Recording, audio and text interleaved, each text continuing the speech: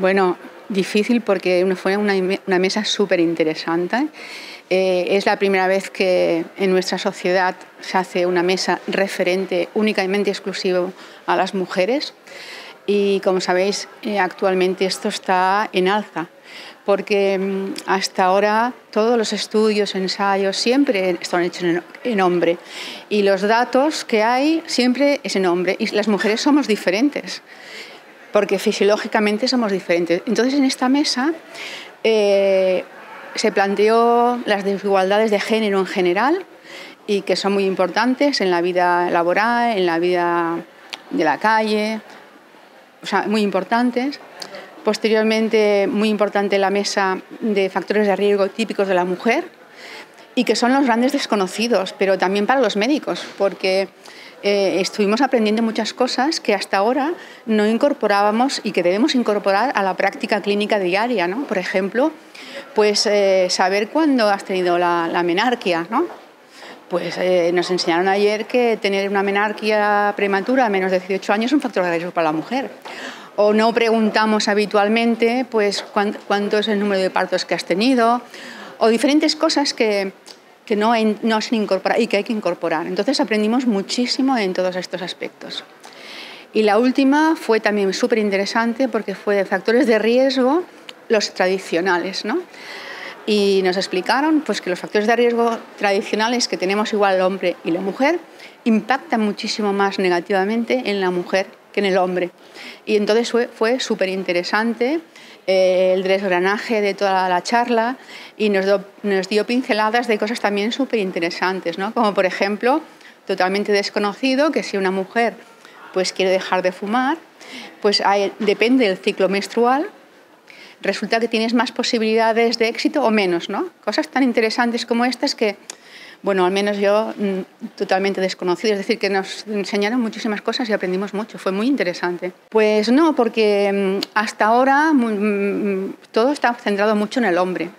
Y muchos síntomas que uno puede tener, que uno puede tener, son diferentes a los del hombre. Y muchas veces pues, no se valoran. En las, facultades de medicina, por ejemplo, no te enseñan que pues, cuando uno tiene un infarto, te enseñan las características típicas del hombre pero es que los síntomas de la mujer son diferentes y entonces son desconocidos. ¿no? Entonces no hay este conocimiento de, las diferencias entre hombres y mujeres que hay que conocer. Y muchas veces a las sintomatologías propias, a veces las enfermedades de mujeres, se tilla, está ansiosa, es una neura, y no es así, sino realmente son síntomas que, que no detectamos y que esto mm, vamos a tener que hacer un cambio todos en general, también las mujeres médicos. Pues tiene un impacto muy alto, porque mm, todos los factores de riesgo, igual que los del hombre, son mucho, tienen un impacto mucho más negativo en la mujer. Eh, por ejemplo, nos explicaron ayer pues que la mujer joven tiene un síndrome de, resistencia a la insulina muy pronto, muy tempranamente, y no se detecta. No se puede detectar solamente por la terminación de la glucosa, sino hay que hacer la, hemoglobina glicada. Y esto implica que retrasas muchísimo el diagnóstico de diabetes en la mujer. Eh, y, también, por ejemplo, en el, embarazo, ¿no? pues, mm, es que es una época con muchos factores de riesgo que se desconocen.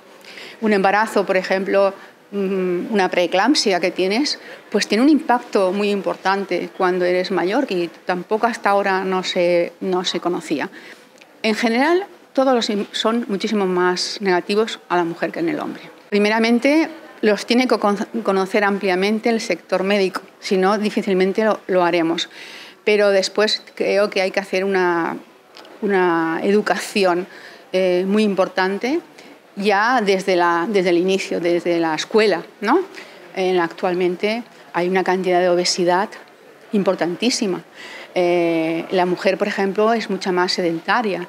Em, hay que educar desde la escuela a los niños, pero también a los padres, porque los niños no son los que cocinan, por ejemplo. ¿no? Entonces hay que hacer una educación mm, en las diferentes etapas y esto se conseguirá a base de mucho esfuerzo y mucho trabajo. Las cosas no cambian de un día a otro. Tenemos, va, a ser duro. Yo, si, si lo supiera, eh, no sé, pero hay que también trabajar mucho en esto y tener muy claro que que hay que trabajar muchísimo en los factores de riesgo, hay que informar muchísimo a, las pacientes y, sobre todo hay que hacer una educación poblacional importantísima. Que no es que no se haga, pero creo que todavía es insuficiente, se podría mejorar muchísimo en este aspecto. Y en los profesionales de la salud también tienen que tener conocimiento eh, muy extenso de los factores de la mujer. Y entonces esto eh, se podrá trabajar las desigualdades que existen actualmente.